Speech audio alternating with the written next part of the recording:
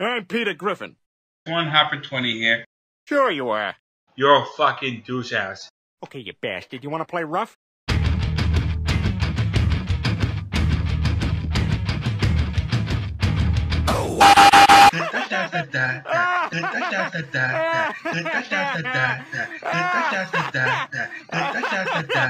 I hope you enjoyed it. Please like, comment,